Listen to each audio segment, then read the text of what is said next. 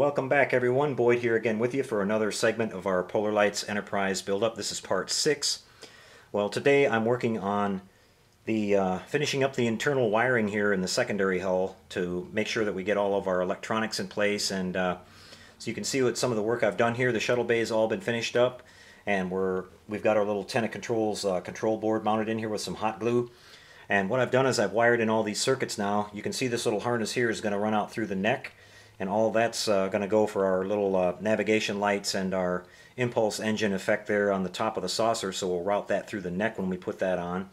The rest of this wiring is all in place. We've got uh, uh these two uh, wires right here, this little harness right here is that goes back to the uh, flashing beacons that are on each side of the rear part of the hull. I think they're called the ion pods on the actual ship and all the other lighting has been put in place and our harness has been nailed down and tacked in place for all of our shuttle bay lighting. So we're ready to go here. I did. I already did a little light test on this and everything is working fine. We've got power going in. Everything is looking good. So what I'm going to do now is I'm going to glue this thing together. I've wiped off all these edges here with some acetone like I mentioned before to make sure we get a nice clean uh, glue joint. So we're going to glue this all together and then we're going to uh, uh, do a little bit of tape work to hold it in place and we're going to do one more light test on it uh, and power it up and I'll show you how everything works then. So I'll do that off camera here real quick guys. I'll come back and show you how that looks, so stay tuned and hang tight. We'll be right back with that. Welcome back again everybody, and you can see that I was successful in getting the secondary hull glued together and everything worked out just fine. I've got some tape on there holding everything in place. We wound up with a really nice uh, tight fit on this one. I didn't have any issues after I did the work in the shuttle bay. You can see there at the rear our gap uh, is nice and closed all the way up. So that turned out well. All the uh, wiring harnesses are in place now to extend through the rest of the parts of the model. And uh, we're good to go. You can see that we've got our nice little ion pod strobing here at the rear. We've got our green lamp at the rear next to these window clusters on both sides like the production version ship had. And you can see that uh, the lighting there at the center uh, is, is lighting up nice and brightly and clear. So we're good to go on that. Um, here at the, uh, down here you can see the little uh, impulse engine lights again working and that's on a harness that will extend. You can see here at the top this harness here and all this other little group will extend uh, up through the neck. And that powers our uh, strobe and our, our, navigation lights and our uh, lighting that for the bridge and everything else on the top of the uh, saucer. So everything's in place and ready to go guys. Everything worked out really well. What I'll be doing next is uh, we'll be gluing these uh, pylon halves together and you've got what they do is they recommend they're slightly warped from the factory, but not to worry. Uh, they straighten right out once you glue them together and stack some heavy books or something on them and let them dry for a couple hours.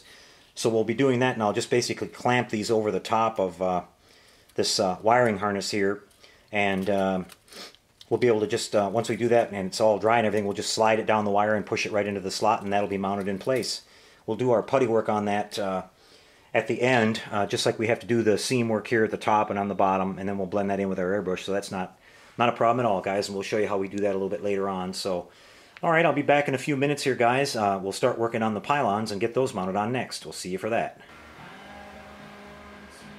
All right, everybody, well, we're back again, and you can see that what I've done is put uh, tape all over the secondary hull here to protect it, and I've went ahead and laid down my uh, filler along the seam here. Now, I like to do this because it keeps it from uh, the filler from getting all slopped all over the sides of your paintwork and everything like that.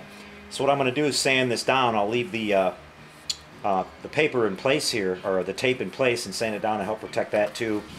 And then once I get it pretty close, I'll go ahead and pull the tape off, and we'll slide it over just a little bit, and we'll we'll just kind of lightly sand uh, the rest of it to make sure we get all that edge off of there. And then we're going to uh, uh, be able to take our airbrush and, and do the touch-up on this. So a lot of you guys have asked about that, so I'm going to show you how I do that today. So I've got me a fresh piece of uh, 320 grit sandpaper and we're just going to start going to town on this thing here. And I've used a combination of Squadron putty and uh, 3M putty on this. I like the Squadron putty to fill the bigger seams like I've mentioned before and you can see that the seam that it had in the middle was uh, not huge but I mean it was fairly wide and up here at the front where this uh, mounting bracket fits it was just a, I really was just filling in like a minor imperfection right there and so I just used some 3M putty for that but uh, both of them sand really easily. You just got to put a little bit of elbow grease into it. And one thing that I like to do here is uh, I've got a little cup of water here and I'll just uh, keep my, uh, my paper wet. And that really, really helps out with your uh, sandpaper and keeps it from getting clogged up.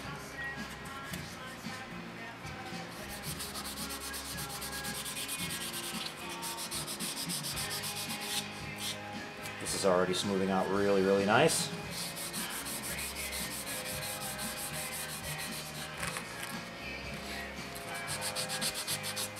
I know watching sanding is boring, but a lot of people on the channel ask me questions, guys, and some of them have, some of the people have not seen the videos before, so we don't want to leave their questions unanswered here, and, and we, I want to, you know, show them the techniques that we've all been talking about on the channel here to uh, work on these models. So for those of you who have already seen it, it might not be interesting, but uh, keep in mind that there's people joining the channel. I was amazed the other day to look that I saw there was like almost 2,500 people on the channel now, and I can't believe it. It's really, it's the channel's really doing well, and like I said, I, I'm just amazed since the very beginning um, how popular modeling is and everything, and uh, I'm really happy to be able to show some of this stuff to you guys. And again, when I talked about before too, um, the stuff that I show on here is just my way of doing things. You know, there I encourage you to look around YouTube. There's a lot of other people out there doing uh, similar to this, and uh, you can find a lot of different techniques and tips out there. So there's always a better way to do something. Okay, this is all smoothing out really, really nice. Every once in a while when you do this, you have to uh, redo it because the seam will come back. But what I did uh, is I laid down a coat of putty on this. And I let it dry for a little bit and then I actually went back and uh, put another coat on before I even sanded it. And uh, it's pretty well got all the seam taken care of already on this so we'll have this sanded down here in no time. You just got to get up into this little beveled edge here at the front and make sure I smooth that out really nice. Okay guys um, I don't want to eat up a whole lot of uh, camera time here doing this sanding but you're getting a good idea of uh, how this works. Again, just use a little bit of water and take your time. I'm using 320 grit paper. That'll take this stuff down pretty fast. Uh, once I get the general shape of it worked down where I want, I'll switch to some 600 grit paper, which is much finer, and I'll final sand it with that, and that'll make a nice surface for our paint to lay down on. And uh, we'll go from there. So what I'm going to do is finish sanding this, and then I'm going to move my tape, and when we come back, we'll set up the airbrush and get ready to touch this up and get our seam all nice and blended in. So I'll be back with that in just a little bit here, fellas. And gals.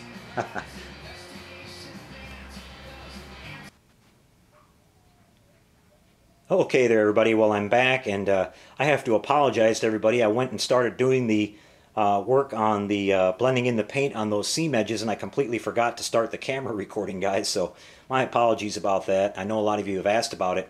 I still have to work on the nacelles and the saucer, so there's time in this uh, uh, video series on this build up here to get to get that out to you, and I'll show that on the next video update, guys.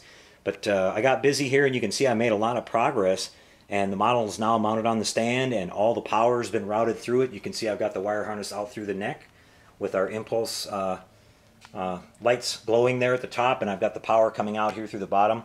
What I'll be doing is uh, hooking up a power switch here and then I'll put the momentary switch over here which will uh, control the speed of the Bussard collector effect. But you can see all of our beautiful lighting is coming through really nice on this. Uh, the windows look nice and sharp and crisp and everything turned out beautifully on it. The paint job is nice and baby smooth. You can see that uh, the window lighting there at the neck looks really nice and our little red windows in place there. And I haven't painted the deflector housing yet. It's just sitting in there and I wanted to make sure it fit. I'll be doing a nice bronze paint job on that. And uh, over here you can see that we've got our strobe working and the wiring is out through the pylons which will go to the Bussard collectors. All the seam work has been done. You can see down here on the side we've got our, uh, if I can get it in focus here for you, you can see we've got our nice green window there on the side. Uh, and that looks really nice. And then here in the shuttle bay again, you can see how that turned out. Beautiful. And uh, up above there, I've got to touch up that whole thing. You can see that arch above the shuttle. It hasn't been painted yet. But uh, you can see I've got an SMD above the uh, ceiling there, which is going to light that little part at the rear above the uh, shuttle bay doors, and then the one here underneath the floor will light the uh, approach lights on the fan tail, and we'll have some lighting that'll uh, light the dome here and light those three little beacons that are on the back on the dorsal area. But the seam work came out on came out beautifully on this, guys, and you can see that on the neck here I painted the nice duck egg blue color on the front leading edge, and uh, it really looks beautiful. I think what I'm going to do uh, is, before I go any further, uh, pro I'm probably going to start putting on some of the decals too, because I found out that it's a lot easier to do some of this stuff uh, before the uh, nacelles and the the uh, bulky saucer are on there. And uh, so in the next couple days, I'll be doing some decal work and then sealing that all up and uh, doing some more detail painting on it. And I'm thinking by next weekend this model is going to be done. All I really have left is the saucer and the uh, nacelles, so things are really moving along here. And just a couple little details. I'll paint the base and paint that uh, mounting rod black, but uh, I think next weekend, by the end of it, I'll be done with this thing. So John will be getting his model very soon. I'm going to be starting on a AMT uh, K't'inga, Klingon K't'inga cruiser after this. I'm ordering in some nice photo etch parts and some aftermarket parts from uh, JT Graphics for the uh, uh re, uh, redesigned uh, bridge and forward bulb section on that model to make it look really accurate. We're going to do some really beautiful lighting on it. That's for a client. He's been waiting for it for a while. And so we're going to be busy. I've got about seven models already lined up to build, guys. So I'm going to be building one after the other here. And I just really happy with all the work that's coming in. So we're going to keep things rocking pretty heavy around here, guys.